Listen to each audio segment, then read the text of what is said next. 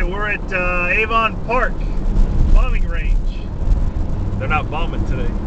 We're uh, we got uh, recreation uh, permits today, and we're gonna go. Uh, we, we went duck hunting this morning, and uh, let's see if we get some hog, some piggy wiggy, piggy wiggy wiggy.